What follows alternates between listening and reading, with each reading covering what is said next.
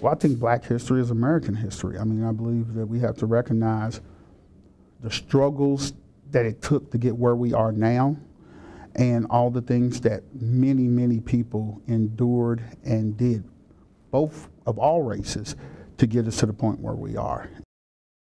Today is the start to Black History Month. Every year, the Louisville Bar Association recognizes someone who excels in their field and works tirelessly in the community.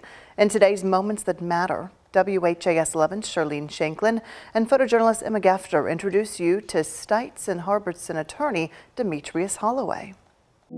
Demetrius Holloway knew early in his life that he wanted to be an attorney, going back to his time in high school. During that time, I met Ernie Jasmin, who then was Commonwealth Attorney. Uh, he, as well as um, um, as others, were there, and they spoke. And um, I just thought it was the coolest thing I ever heard. The way he, he commanded the room and moved around and uh, told his story. Following Jasmin's cases ignited a desire in Holloway to reach for excellence while helping others have their voice be heard, regardless of where they are from. I think there's just opportunity there now uh, to get those ideas and perspectives and let people see that everybody can bring something to the table and the difference in perspective can help make better decisions um, than just one shotgun approach to everything. Growing up in West Louisville, Holloway learned the basics while attending Central High School. Today, he's a partner at Stites and Harbison in the employment litigation section.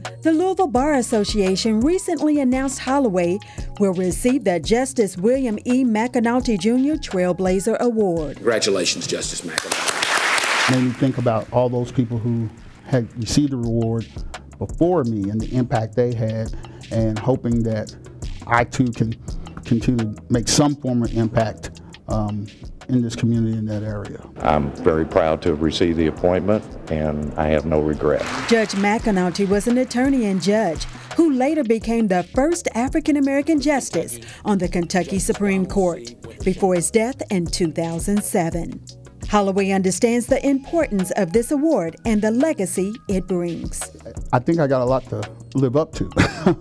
he was he was a great person. I, I, actually did get to meet him and spend time with him at different times, and um, I see him and some of the others, the, like I said, Ernie Jasmin, J. Michael Brown, uh, Denise Clayton, all these various folks who put a lot into this community and put a lot into us as we came into the practice. I mean, those were great, uh, great role models, and and and it provided us with um, a good sense of what we should be working towards and how we should be carrying ourselves in the practice.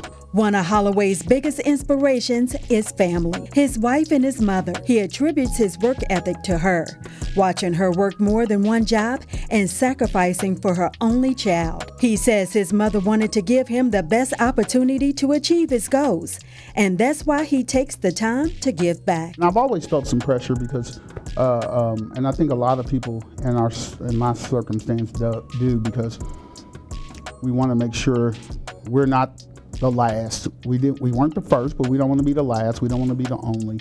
And so we want to see more people coming in and, and, and, and, taking this opportunity and getting this opportunity and showing that they can flourish and do even greater things. For Moments That Matter with photojournalist Emma Gefter, I'm Charlene Shanklin for WHAS 11 News on your side. Holloway will re officially receive the Trailblazer Award presented by the Louisville Bar Association coming up later this month.